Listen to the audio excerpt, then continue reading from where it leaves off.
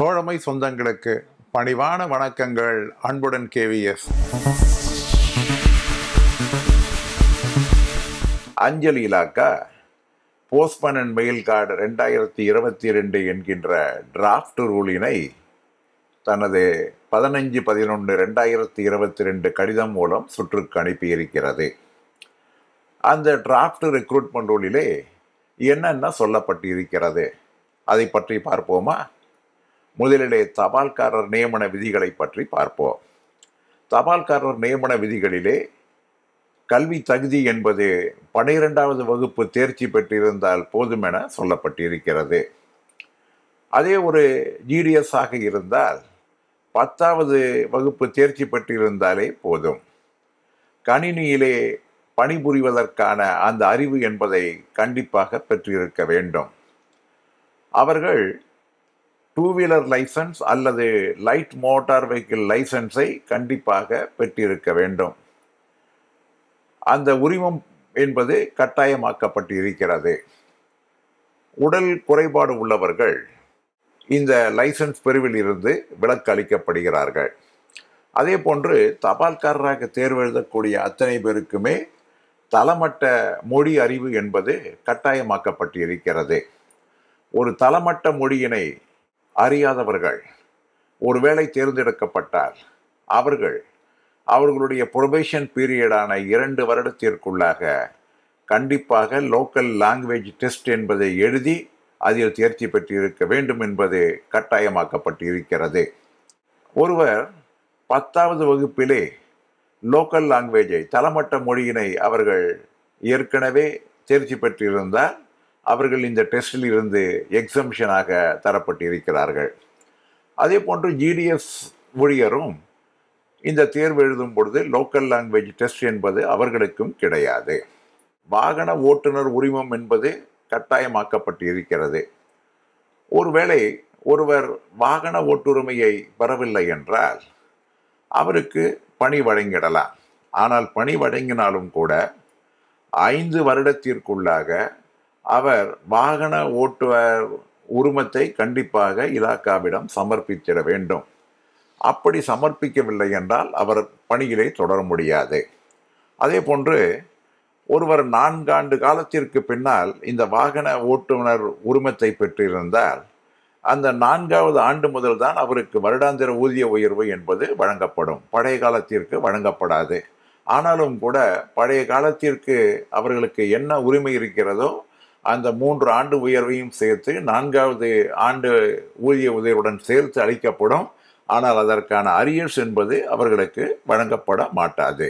அதே போன்று ஜிடிஎஸ் ஊழியராக இருந்தால் அவர்களுடைய அதிகபட்ச வயது என்பது ஜனவரி ஒன்றாம் தேதி அன்று ஐம்பது வருடத்திற்கு மிகாமல் இருக்க வேண்டும் என்று சொல்லியிருக்கிறார்கள். இவைகள் கல்வி தகுதிகளும் அதற்கான நிபந்தனைகளும். அடுத்ததாக எந்த முறையிலே இந்த தேர்ச்சி அடிப்படை இருக்கும் என்பதற்கான விளக்கங்கள் தரப்பட்டு இருக்கிறது இருபத்தைந்து சதவிகித எம்டிஎஸ் தபால்காரர் தேர்விலே சீனியாரிட்டி கம் ஃபிட்னஸ் அடிப்படையிலே கோட்ட ரீதியிலே தேர்ந்தெடுக்கப்படுவார்கள். இருபத்தைந்து சதவிகித எம்டிஎஸ்கள் மாநில அளவிலே தேர்வு மூலம் தபால்காரராக பதவி உயர்வு பெறுவார்கள். மீதம் இருக்கக்கூடிய அந்த ஐம்பது சதம் என்பது ஜிடிஎஸ் ஊழியர்கள் மாநில அளவிலே தேர்ச்சி பெற வேண்டும். அவர்கள் ஐந்து ஆண்டுகள் சேவை என்பது ஃபஸ்ட்டு ஜனவரி அன்று கண்டிப்பாக கொண்டிருக்க வேண்டும் என்று சொல்லப்பட்டிருக்கிறது.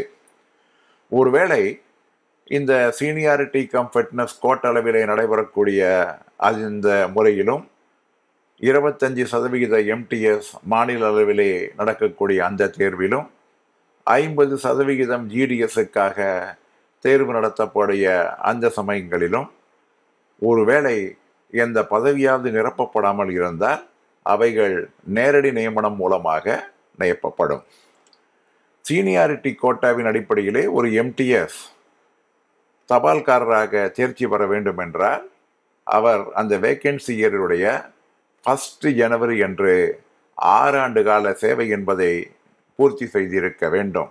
ஒரு எம்டிஎஸ் ஊழியர் தபால்காரர் தேர்வு எழுத வேண்டும் என்றால் மூன்று வருட சேவை என்பது அவர்களுக்கு போதுமானது.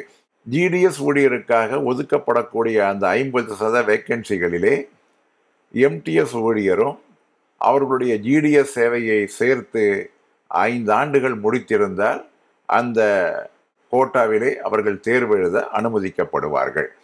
இவைகள் தபால்காரருக்கான விதிமுறைகள். அடுத்ததாக மெயில் கார்டு மெயில் கார்டு என்பது நமக்கு தெரியும். ஆர்எம்எஸ்ஸிலே இருக்கக்கூடிய அந்த மெயில் கார்டு பதவிக்கும் எஜுகேஷனல் குவாலிஃபிகேஷன் என்பது பனிரெண்டாம் வகுப்பு தான். ஜிடிஎஸ் ஆக இருந்தால் பத்தாவது தேர்ச்சி பெற்றிருந்தாலே போதும். கணினியிலே பணிபுரியக்கூடிய அந்த அறிவு என்பதை கண்டிப்பாக பெற்றிருக்க வேண்டும்.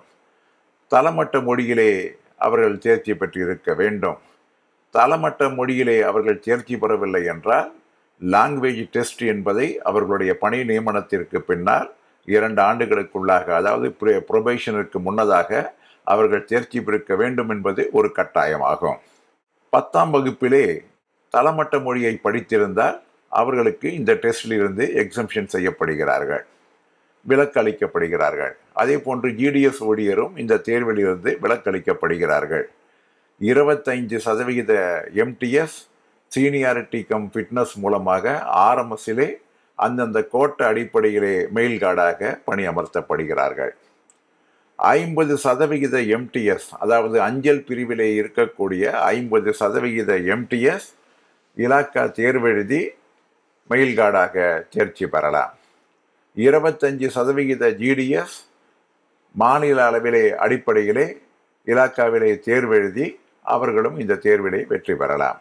ஜிடிஎஸ்ஸிற்கு ஐந்து ஆண்டுகள் சேவை. அதாவது first January of the vacancy year வரக்கூடிய நேரத்தில் ஐந்து ஆண்டுகள் கண்டிப்பாக அவர்கள் முடித்திருக்க வேண்டும்.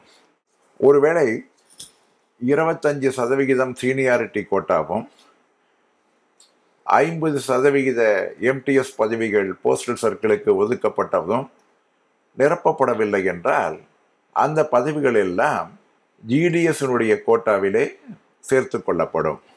அப்படியும் நிரப்பப்படவில்லை என்றால் அவைகள் அவுட்சைடு ரெக்ரூட்மெண்ட்டிலிருந்து தேர்ச்சி தேர்ந்தெடுக்கப்படும்.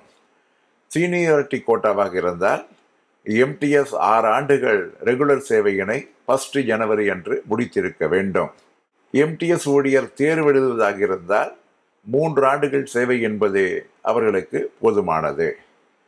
ஜிடிஎஸ்ஸுக்காக ஒதுக்கப்பட்டிருக்கக்கூடிய அந்த இருபத்தஞ்சு சதவிகித வேக்கன்சிகளிலே எம்டிஎஸ் ஊழியர்கள் அதாவது மூன்று ஆண்டுகள் சேவை இல்லாத எம்டிஎஸ் ஊழியர்கள் தேர்வு எழுத வேண்டும் என்றால் அவர்களுடைய ஜிடிஎஸ் சர்வீஸையும் சேர்த்து ஐந்து ஆண்டுகள் என்று இருந்தால் அவர்களை அந்த தேர்வு எழுத அனுமதித்திடலாம் என்று இந்த டிராஃப்ட் ரெக்ரூட்மெண்ட் ரூலிலே சொல்லப்பட்டிருக்கிறது.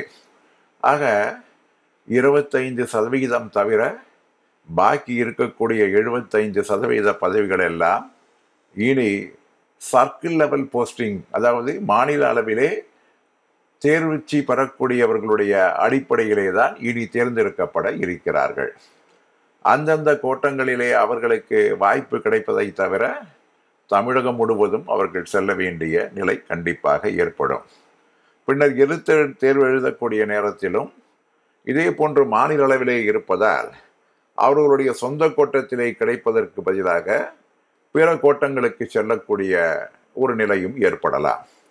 ஆனாலும் கூட மொத்தத்திலே தகுதி படைத்தவர்கள் யாராக இருக்கின்றார்களோ திறமை படைத்தவர்களுக்கு ஒரு முன்னுரிமை அளித்து அவர்களுக்கு இந்த வாய்ப்பு கிடைப்பதற்கான ஒன்றினை இந்த டிராஃப்ட் ரெக்ரூட்மெண்ட் ரூல் உருவாக்கி இருப்பதாக நாம் கருதுகின்றோம். இவைகளையெல்லாம் நிச்சயமாக நீங்கள் உள்வாங்கிக் கொண்டால் எதிர்காலத்திலே எந்த ஒரு பிரச்சனை வந்தாலும் எளிதாக சமாளித்திட முடியும் என்று கூறி இந்த நிகழ்ச்சியை இத்துடன் முடிக்கின்றேன். மீண்டும் சந்திப்போம். அன்புடன் கேவிஎஸ்